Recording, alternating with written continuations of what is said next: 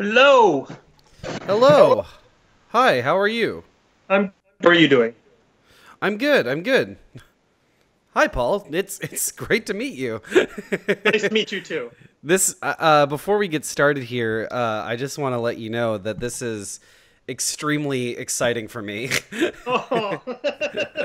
I, I'm I'm a huge fan of your game to say the least, and uh, when I was thinking of my next project, uh, so just to let you know a little bit about the show, it's a. Uh, did you see the link to the Nintendo one that I did? I have not watched it yet. I saw the link, but I haven't had a chance to watch it. Okay, so what it is is it's a animated uh, um, video essay series slash documentary series, and uh, what that entails is basically um, I. It, I what I want to do is tell the stories that haven't been heard about games. So the first one that I did was on Nintendo, and it was kind of things people have heard, you know. Um, it, it was uh, me timing it to go along with the release of the Nintendo Switch, you know, trying to capitalize on things like that. But when I was thinking about the next project I wanted to do, I wanted to talk about, you know, a game that I was really passionate about and really, uh, really excited about. Here, let me get you my face here. I just realized that that was off. so there I am. Um, but uh, Smash Up is a game that has always been really important to me. It's actually, I think, one of the games that was pivotal into me getting involved in playing board games every single week. so, Sure. yeah. So, uh, That's uh, awesome. yeah, when my friends had me over, it was uh, the first game we played was Munchkins. Mm-hmm. The second game we played was Arkham Horror. The Wow. third game, yeah, they threw me right in there. That is Um, the deep end right there. the the third game we played was Smash Up, and we proceeded to play Smash Up every single week for about seven months to ten months straight. Wow. yeah, That's awesome to hear. and- Thank- that's, that's yeah, so we played other games too, but like, Sure, sure. it, it like we, we would play a new game, and then we're like, well, we all know Smash Up, so let's play Smash Up next, you know. So it's always been, uh, it's been a, like a cornerstone in like my love for board games and that. So, um, thank you. Oh, you're very welcome. yeah, and uh, so what I want to do with this series is uh, interview you, talk about the history of the game, and then uh, what led it to be and all that. And then once you know I have you know all the great commentary from you, I'm going to be splicing that into some sort of. Uh, uh, video essay, uh, about five to ten minutes long. So a very short form uh, essay, mostly being narrated by me, but with uh, interstitials that come in from uh, from you. You know. And then- a cup of water to have here. So. Oh, it's okay. Yeah, yeah. Go right ahead. Uh, sure. Yeah, that sounds awesome. Yeah. So, um, and then uh, on top of that, uh, this interview will also be posted on the YouTube channel as well. Uh, as like a uh, like a reference guide or something like that. Like so, if someone wants to see a little bit more, I wanted to make the full conversation available. And so I'm uh, speaking with you first, and then after I get off the call with you, I'm actually going to be speaking to Todd as well and hearing more about the development side. But uh, really excited to kick into the uh, game designer side. So Okay. first off, why don't you uh, tell me a little bit about you? Uh, okay. Well, let's see. How long do I have? Is that the question? Yeah, yeah, no, no, no, no. I just always have to like. I don't think about this stuff very much, so I'm gonna. It's okay. Yeah. Uh, I'm Paul Peterson. I'm a game designer. I've been Mhm. designing games for, I think it's 23 years, professionally for like 22, 23 years now. Okay. Um, I started at Wizards of the Coast. Uh, yeah, on- I, I did see that on your LinkedIn when I was yeah, trolling yeah, through yeah. there. I started working on Magic. Uh, Mhm. I've worked on Pokemon and Harry Potter, and I worked on like 11 different collectible card games while I was there, actually. Very Um, exciting.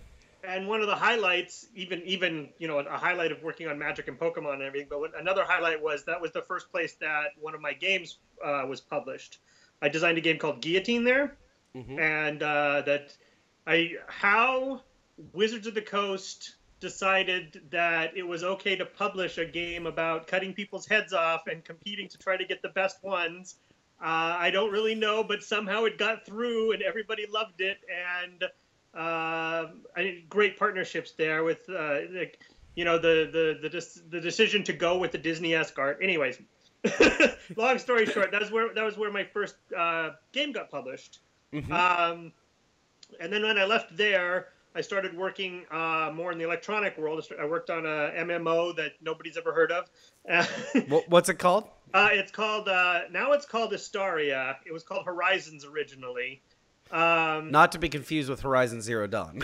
no, way, way before that. It's like 2000. I know. Like, I'm yeah. Just a little uh, joke. But uh, I mean, to be clear though, that MMO still exists. So, mm-hmm.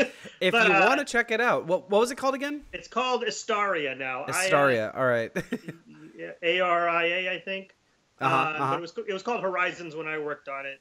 Uh-huh. Um, that got me into uh, making more electronic games, so I did that for a while, uh, and then I came back to tabletop, and I started a company with uh, Peter Adkison, who started Wizards of the Coast, uh, and Jesper Myrfors, who was the art director for Magic. Like you look at the back of a Magic card, he did that. okay.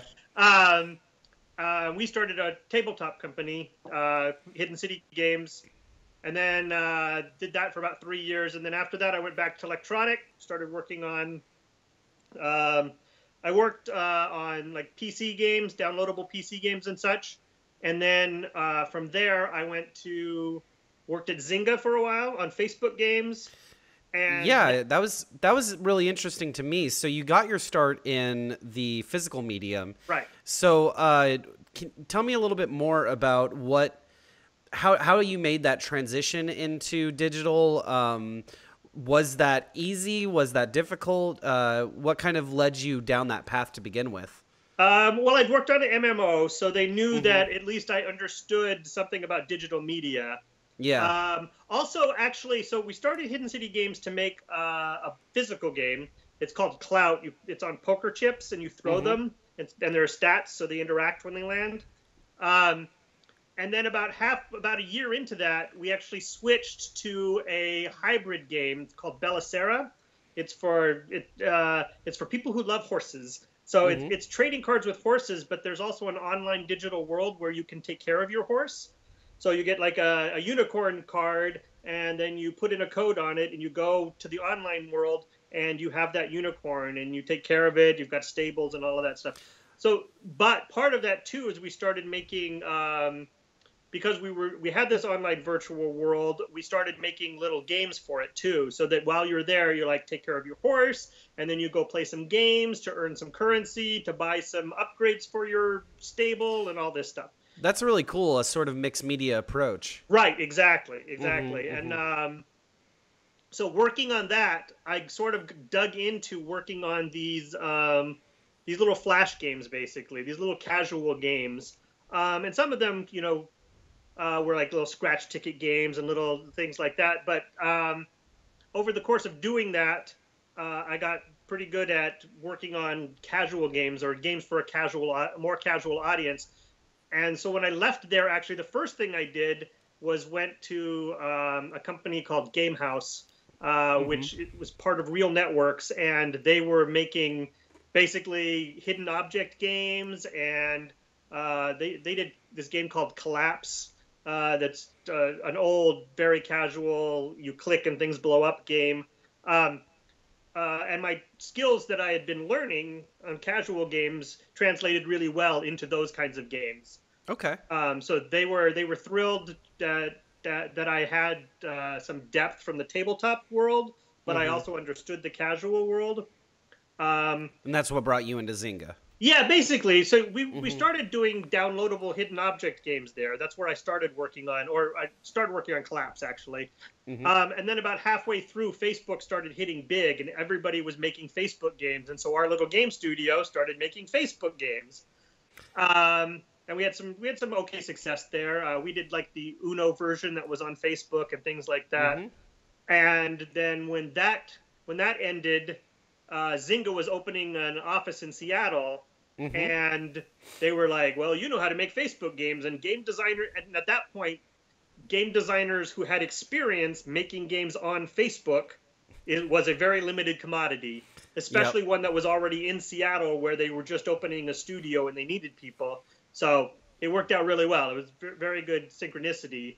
Um, and so I worked there for a while, and then uh, after a couple years, I started working where I work now, which is PopCap, which is Yeah. Bejeweled, Plants vs Zombies. Mhm. Again, sort of casual games, but um, the the interesting thing is that I was working on Facebook games, and then mobile games started hitting big while we were Yeah. at, while we were at Zynga, and so I started learning those skills, and those have translated over into PopCap, where I make mobile games. So it's very interesting that like I start learning something just at the right time to pivot to another company that desperately needs somebody who knows how to do that. So I know it's it's it's nice when you become a jack of all trades because then you can just move from one one table to the next yes, exactly, exactly. and bring your chips with you if you will. right.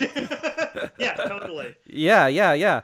Um, and then uh, so PopCap, uh, what what position do you have there? If you don't I'm mind a me senior asking. game designer at PopCap. So I That's that's awesome. yeah yeah I work on a game that's called Plants vs Zombies Heroes. It's an online collectible card game.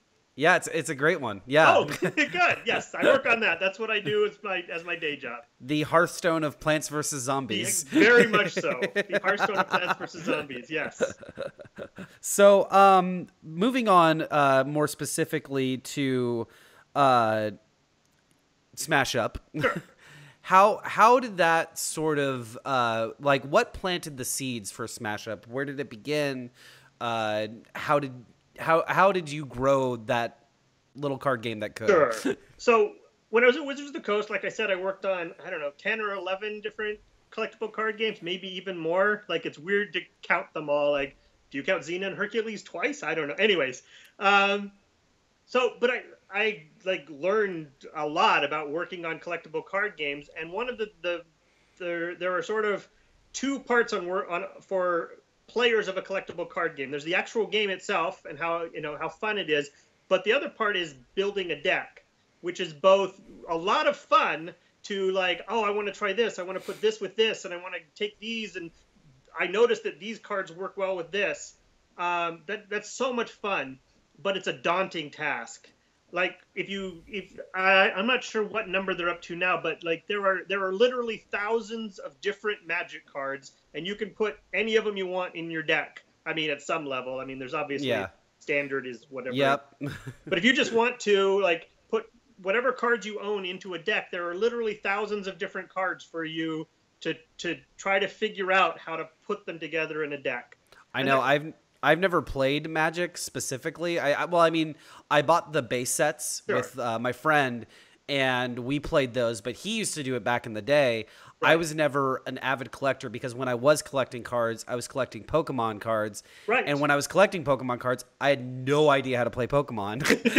so my, my my buddy Chris actually wanted me to ask you, what do you think about uh, Pokemon being a game that uh, everyone collected but no one knew how to play? honestly, like when I was one of the designers, I was we were there were only, there were two of us at the time when I was Uh-huh. doing it. There were two people designing Pokemon, but we weren't actually designing it.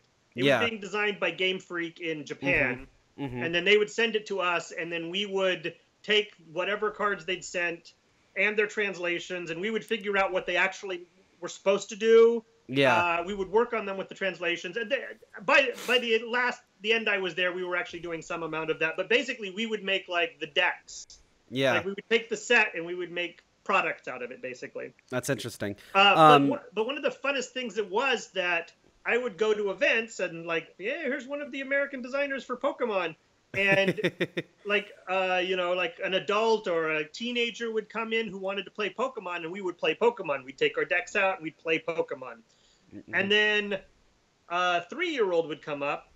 And uh, a five-year-old, three would come up with their Pokemon cards, and they'd want to play Pokemon and that could mean anything from we would each pick one of our cards and show it to the other person and then we would decide collaboratively which one wins.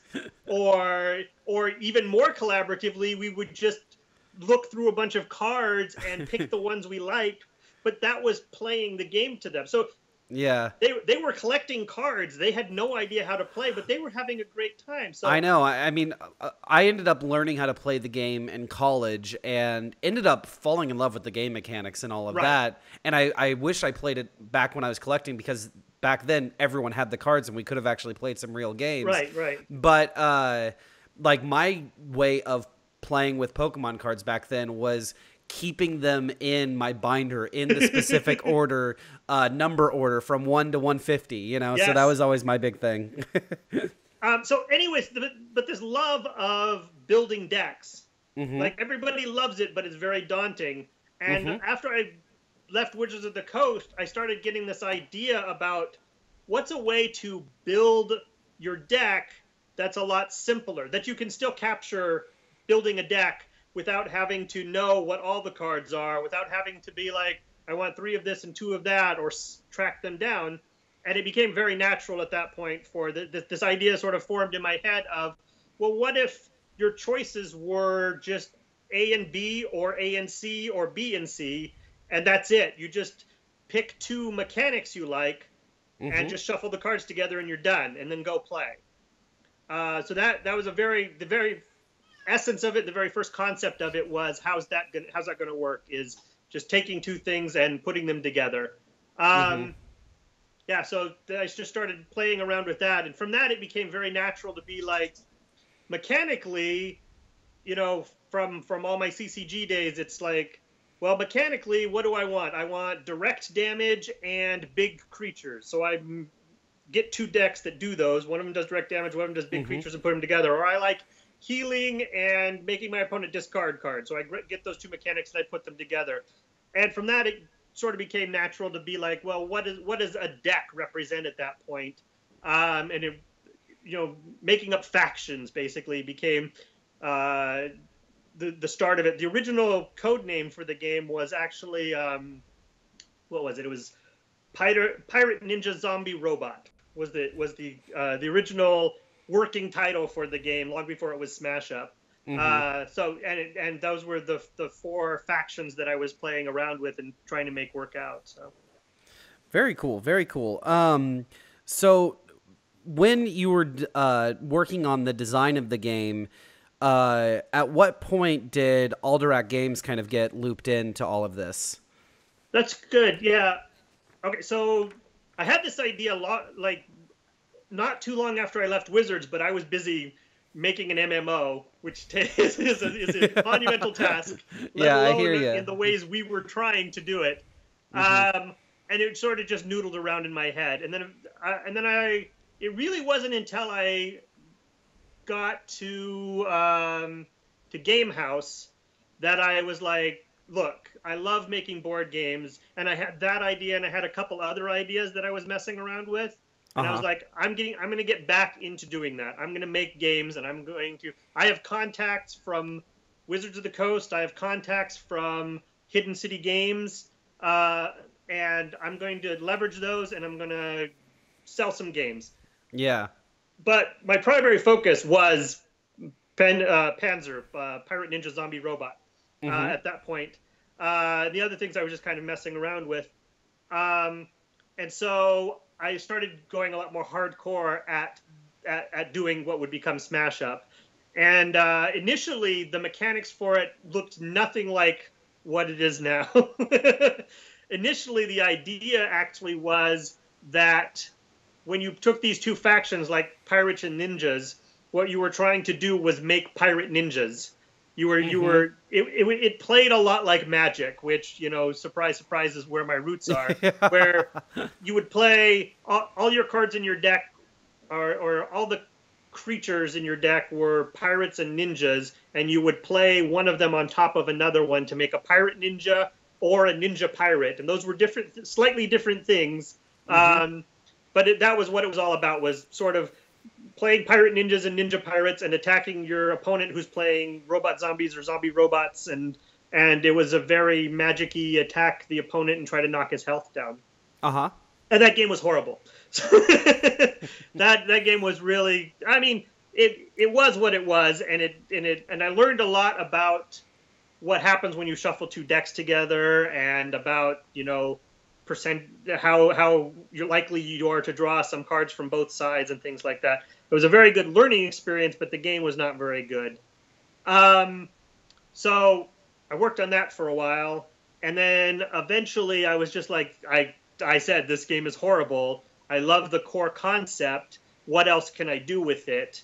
Um, and things started to fall into place when I was like, well, maybe instead of me attacking you, we're racing to complete to do something with our with our forces maybe that mm-hmm. maybe i'm not making a pirate and a ninja that go together maybe it's just pirates and ninjas working together and each doing their thing whatever that is, mm-hmm. um, as we race towards as we try to get the most points exactly. and then it sort of became like well isn't it what it might be cool if there are cities basically and they're they're attacking the cities and trying to win them and whoever wins the cities uh, mm-hmm. win, whoever wins the cities gets points and points go to until you somebody wins basically um, so yeah that, that was that was sort of the the evolution into the game existing and it, and it started to get really good i i started a group of seattle's a really great place to be a game designer there's a okay. lot of us up here and a lot of like really well-known game designers up here.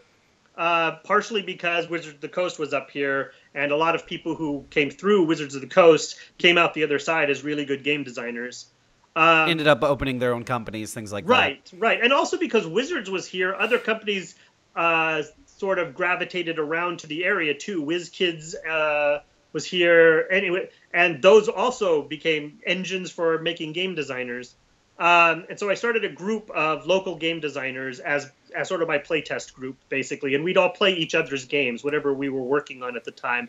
And so I got a lot of really good feedback from them, but from other game designers about my game as it got better and better. And I started to notice that people were more excited about it when we'd play. They'd be like, "Oh, how's Smash Up going? What's or how how's Panzer going? How's yep. you know what's going on?" Uh, and I started I started to get more excited about it, and I started thinking that now now's the time to talk to somebody about putting the game out. Mm-hmm. Uh, this is before Kickstarter, so there was not a huge option for me to do it, you know, unless I really wanted to take out a loan and start a game company. And I'd already done that with Peter and Jesper, and I was not really excited about doing that. I was much more excited about, you know, my game coming out and, uh, you know, hopefully continuing to work on it, but also like having a bunch of games out.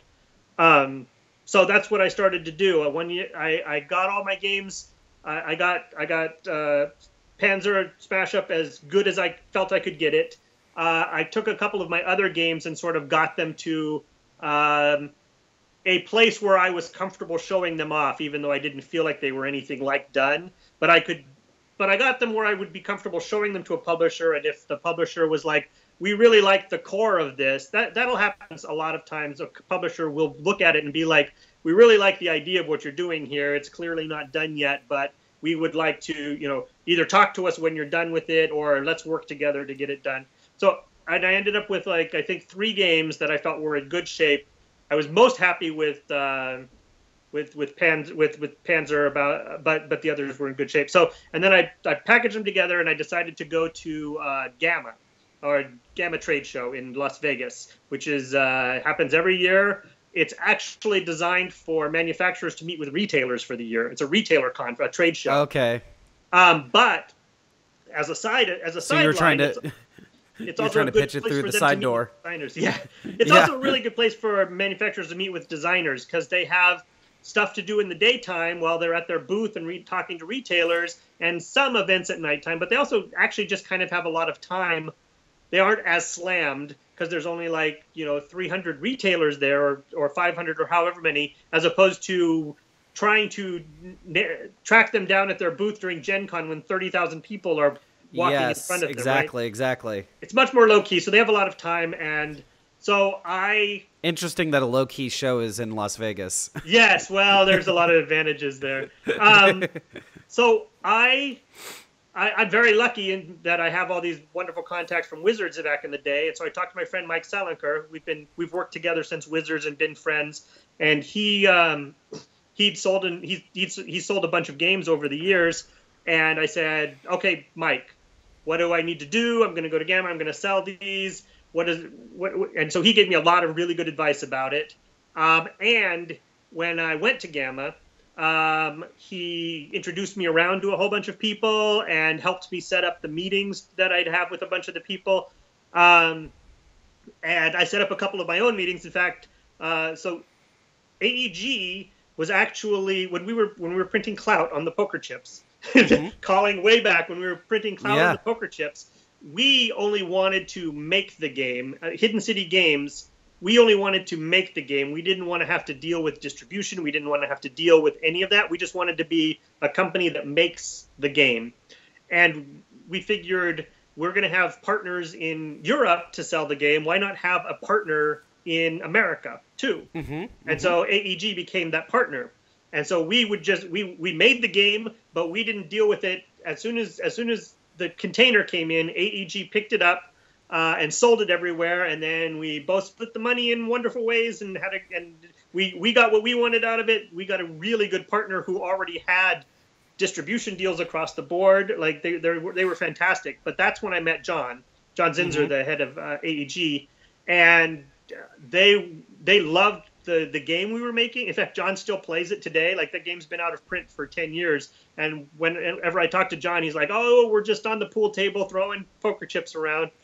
Um, and so we became good friends because he liked he loved the game, and and so when I was like ready to to, to show my games off, um, he was one of the first people I contacted. I said, "Hey, John."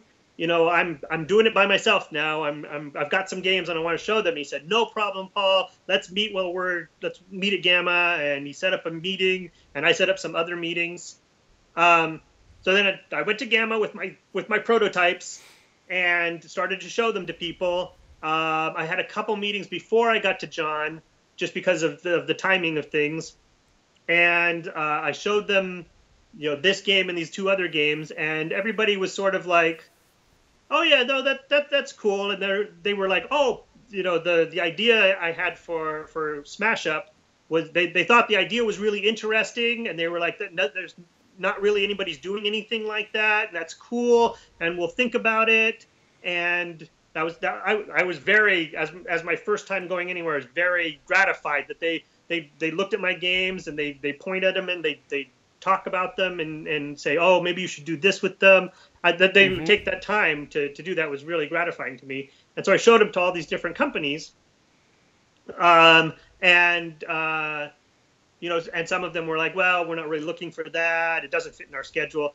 And finally, I, I met with John and I said, "Here are my games," and I showed him my three games, and I sh- and I don't remember the order I showed them in, but after we'd sort of seen all three of them, he's like, "Let's go back and talk about Panzer. Let's go talk about the the the, the one where you shuffle the decks together. Let's Yeah. let's play that again."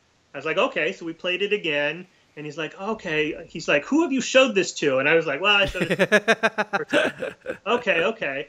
And he's like, wow, that's really interesting, Paul. Don't show it to anyone else. well, the, yeah. The, and then we, we ended the meeting and we went away. But like uh, within an hour, I got a phone call. He's like, look, Paul, I can't ask you to do this because it's not fair to ask you to do this, but don't show it to anybody else. so he's like, I'm not, I'm not actually going to ask you to do that, but I'm going to tell you that everybody in my company is really excited about it, and Uh-huh. Maybe you shouldn't show it to anybody else. Um, and we had, and he, we set That's up gotta- another meeting before I left, and we, you know, basically like cascaded from there. Um, and even though some other companies had sort of shown a little bit of interest, nobody had shown this.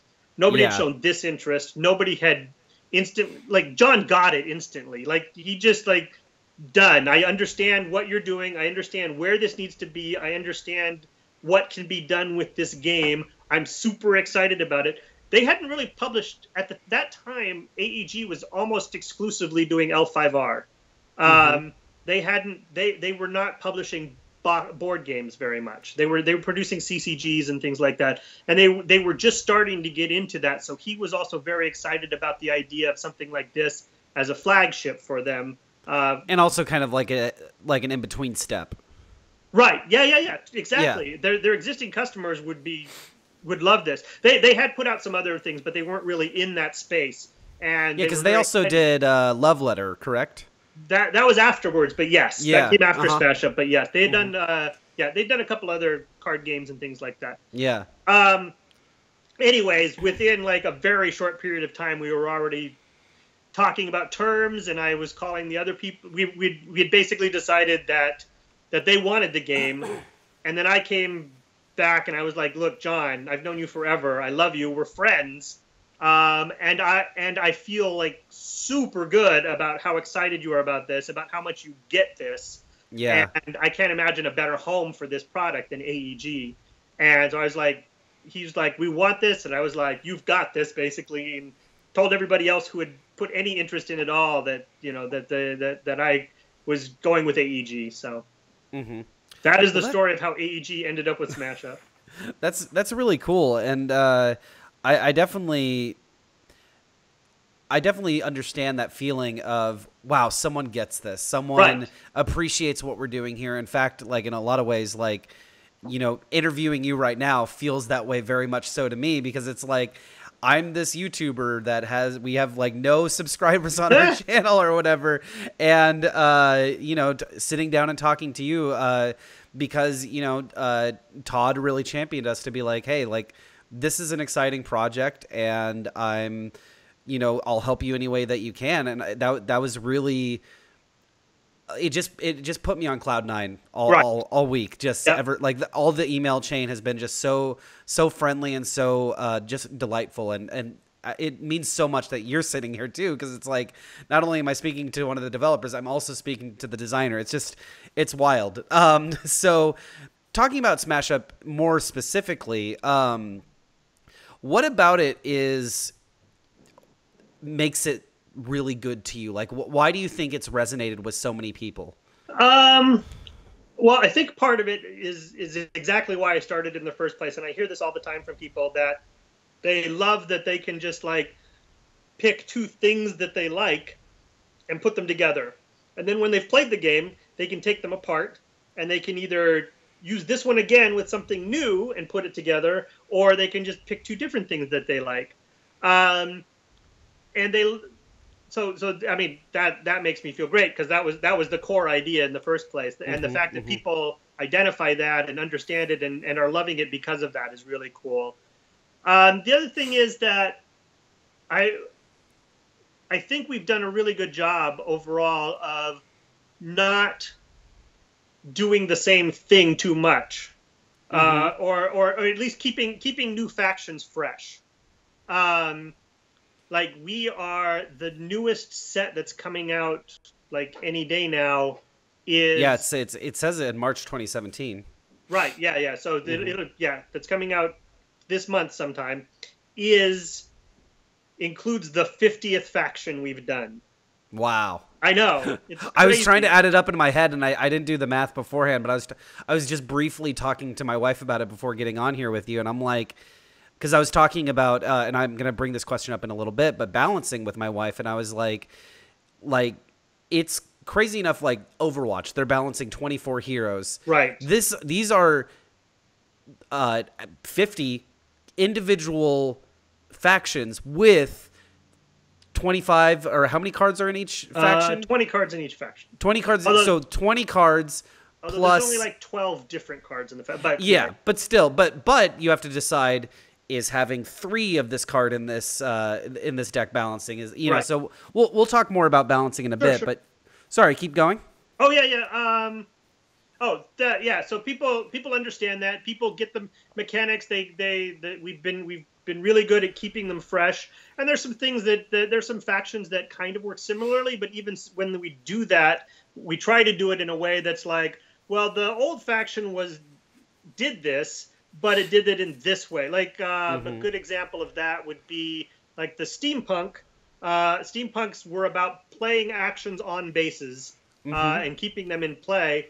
Um, and then when we got to dragons, which is in the newest one of the newest sets, Yeah, is, they're in the. Uh, I believe it's the. It's What your fault one.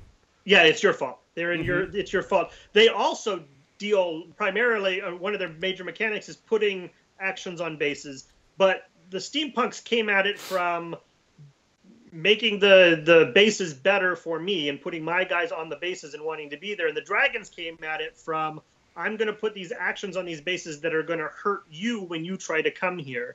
Mhm, Um, mhm.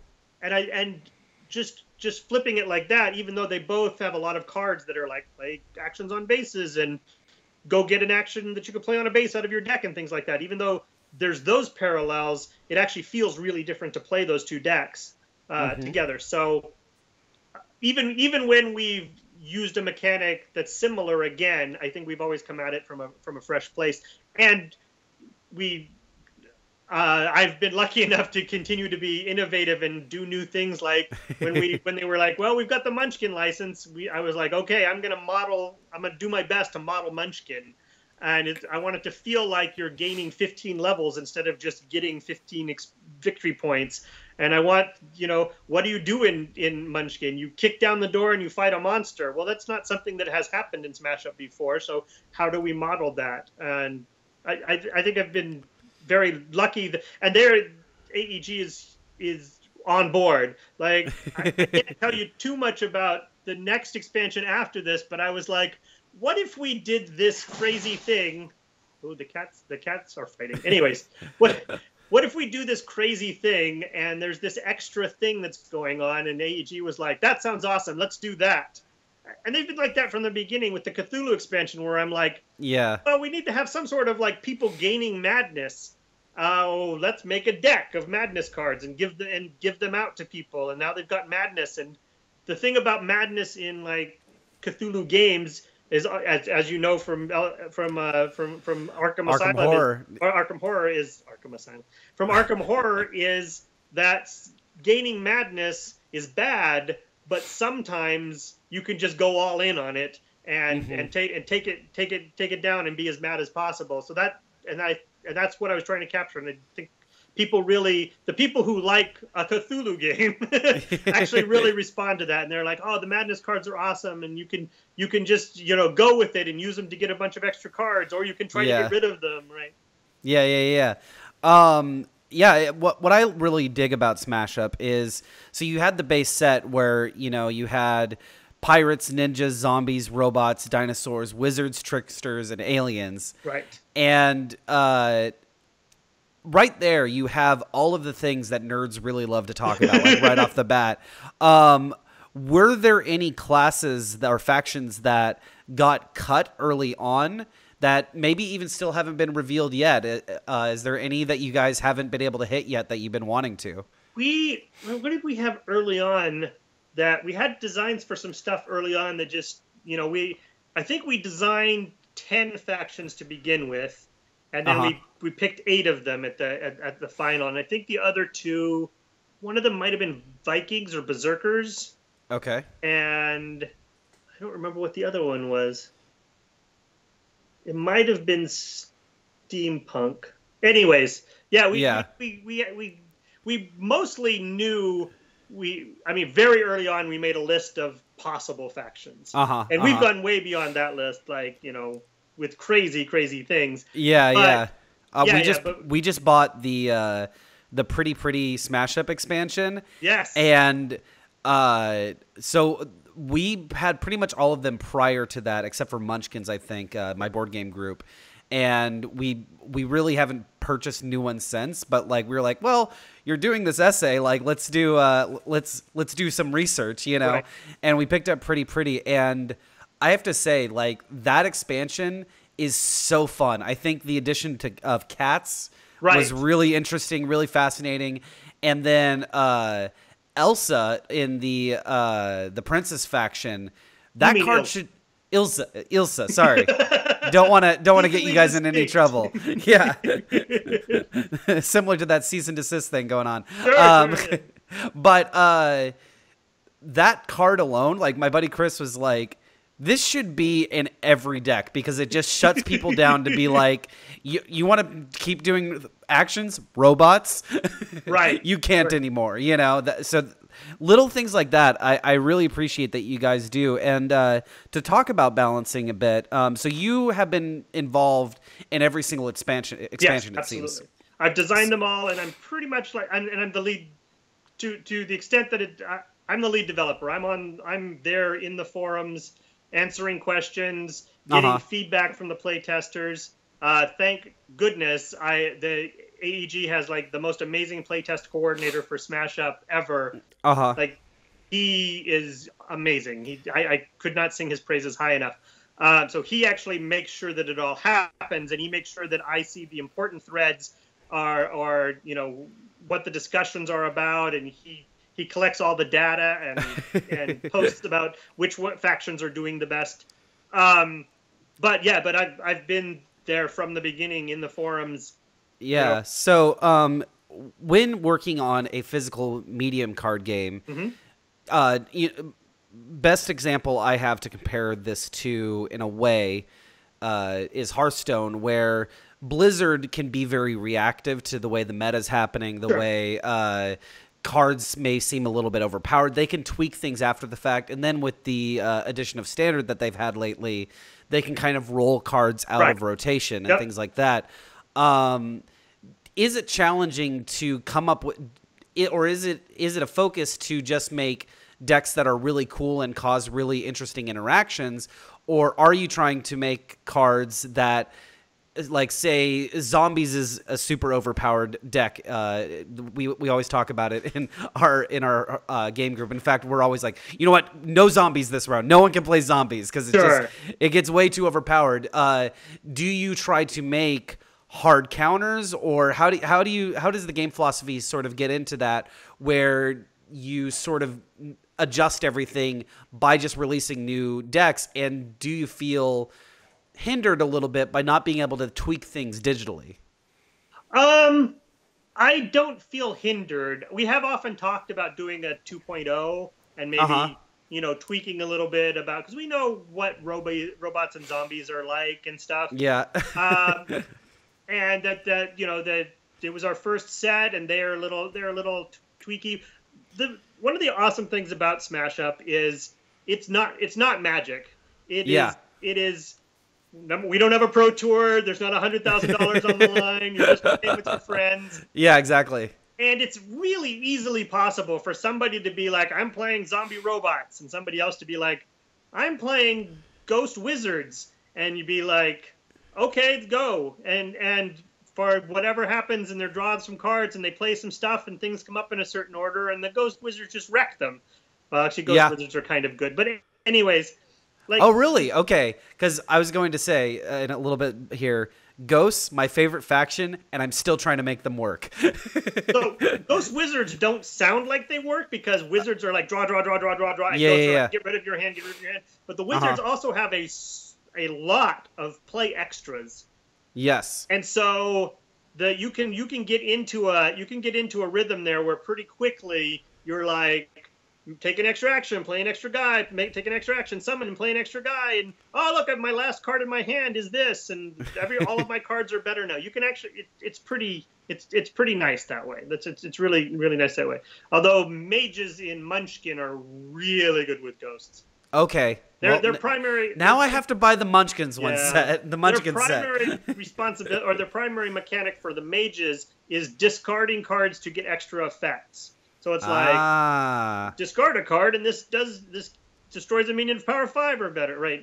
They have a bunch of that stuff. So you're just suddenly okay. like. I get to discard, which powers up my other thing. Anyway. Well, now I know my next expansion I'm buying. You know what your next expansion is. um, but so, anyways, but at a very high, at a very high level, it's kind of okay that some of the stuff isn't necessarily as balanced because you're playing at home and you're doing people are doing exactly what you're doing, which is like mm-hmm. Zombies are way overpowered or zombies are fine, but you can play your zombies, but you can't play them with robots or you can't play them with this other thing that mm-hmm. where the zombie gets to recurse the wrong kinds of things, right? Yeah. They can make these, and they can also be like, ah, he's always picking zombies and robots, but I get to pick before him, so I'm going to uh-huh. take the zombies now, and he's not going to the guy who's always playing them isn't going to get to, to go. Yeah, uh, our our house rule is uh, face down cards. Oh.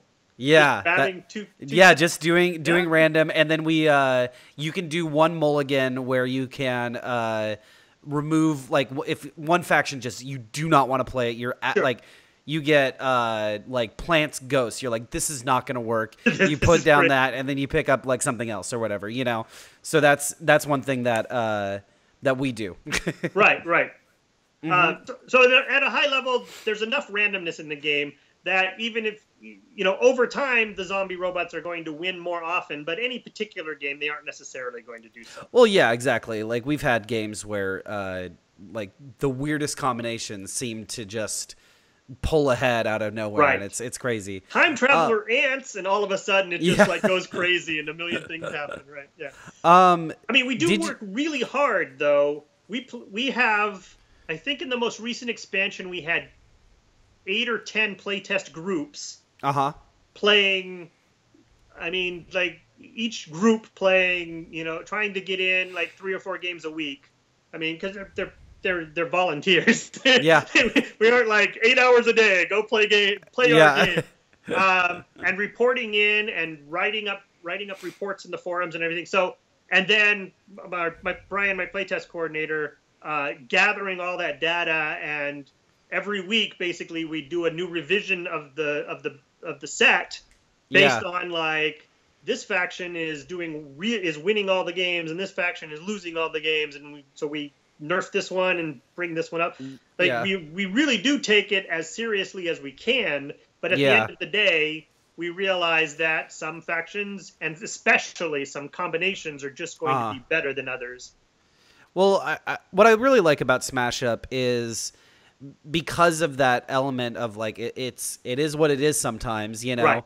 Um, even in the rule book, it says if something's not clear between like the way like this card interacts with this card, house rules, man. 'Cause yeah totally go your guess is as good as ours. That's right. Because there's definitely like some wording. Like we were looking at uh, one of the cards where in cats it was uh, your opponent's car like an opponent's minion has negative three, but then on other cards that says your opponent has negative three, uh, lowest it can go is zero. So we're like, does that mean it can go to negative one or two? And we're like.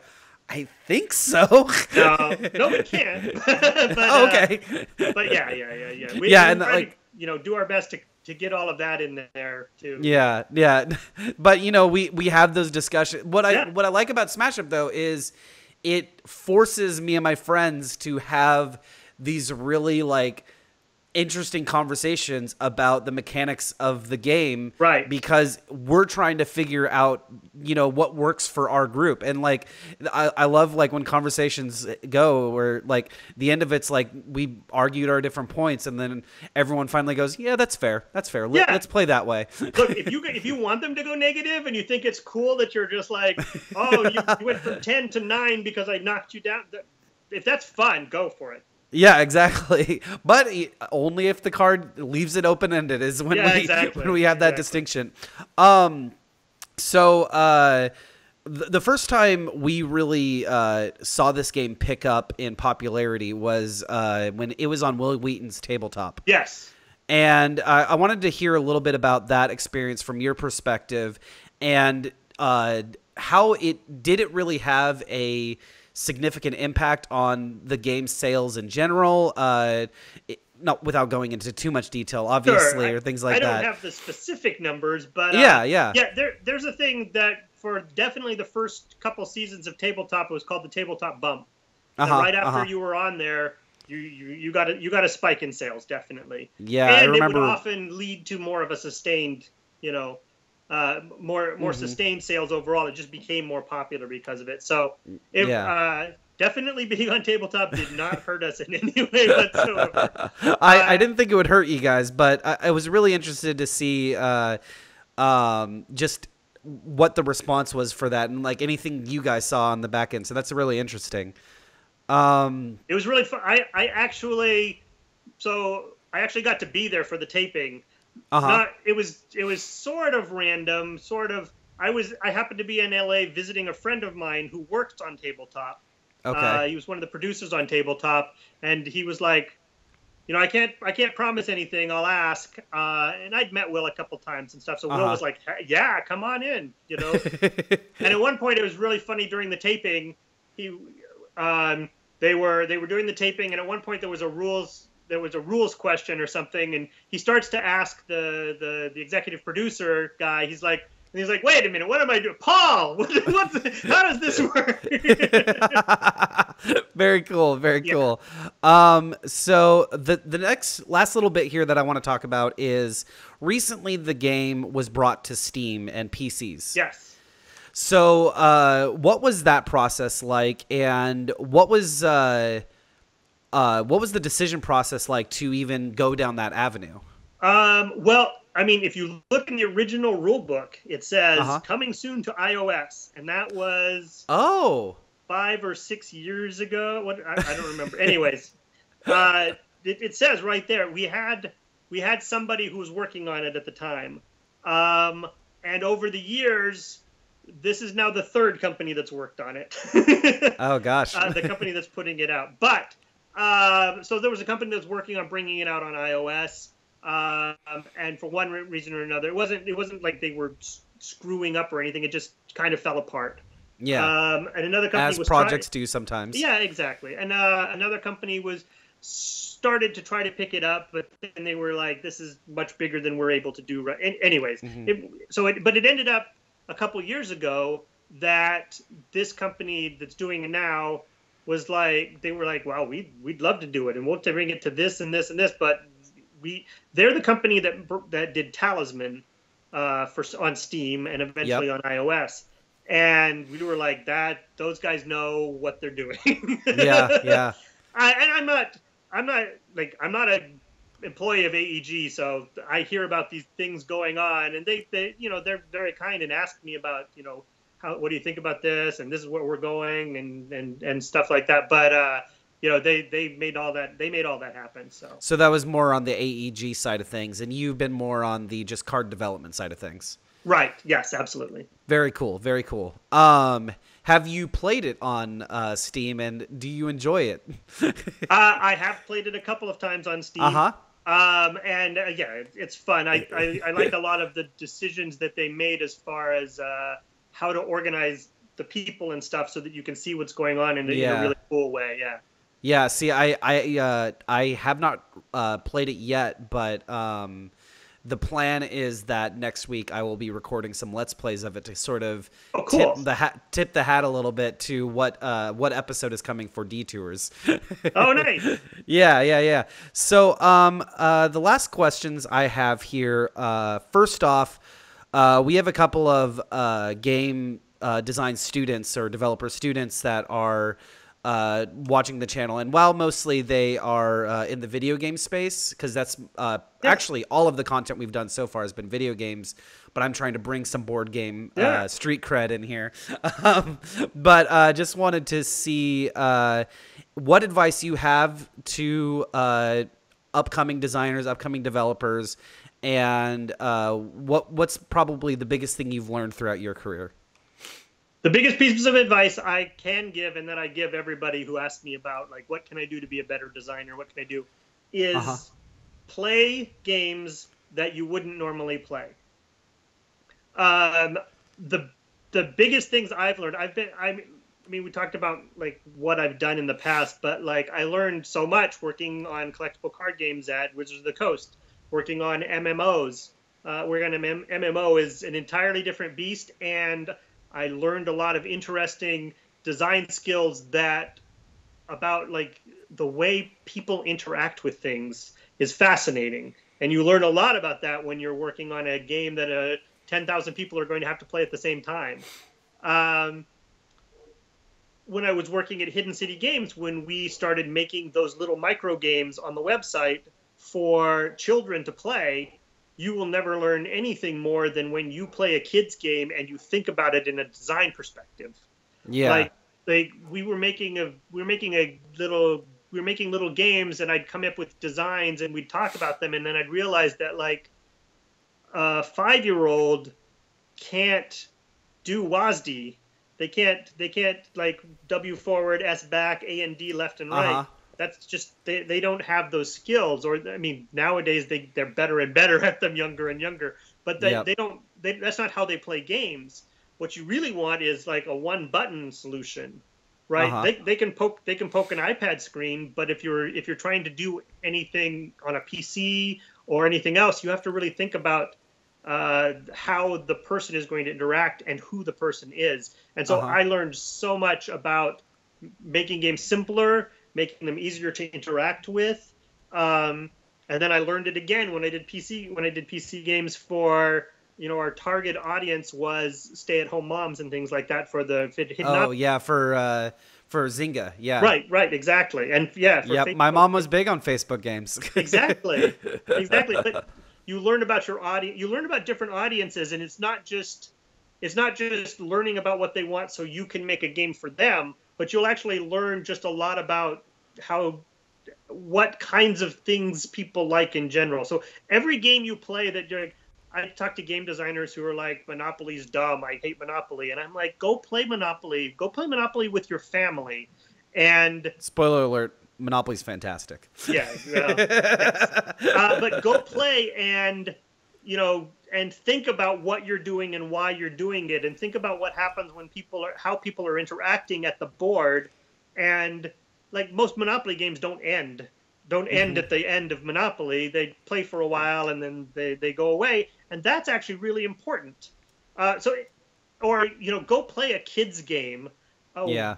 With your kid, like I, I, I have two kids, and I keep buying kids games to to, to get them into gaming because that's my secret agenda. Yep. and uh, but every time I play one of these, I'm just fascinated by decisions they've made about how the kids are going, how you can play in a way that engages the kids and things like that.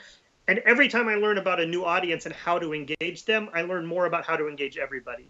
So the mm-hmm. the biggest piece of advice I can give you is go play a game you wouldn't normally play. Go I I would never play Madden. Madden's no good. Go play Madden and, and just like learn about the deci- think about the decisions they made.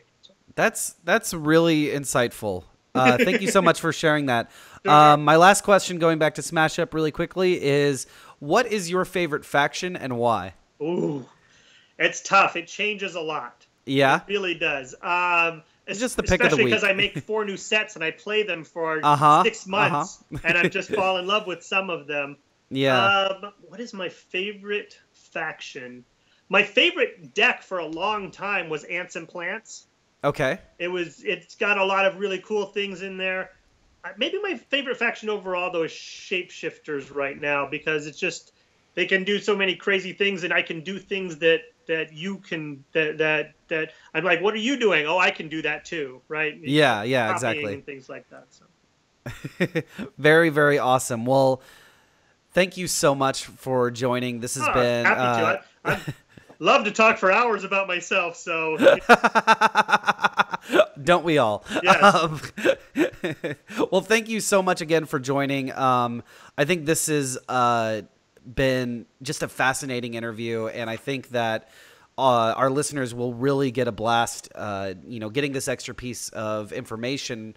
Uh, from one of the from the designer of one of my favorite games. So thank you so much for joining so. me. It was a pleasure to be here for sure. well, thank you, Paul, and you have a great rest of your evening. I will try. bye bye. Bye.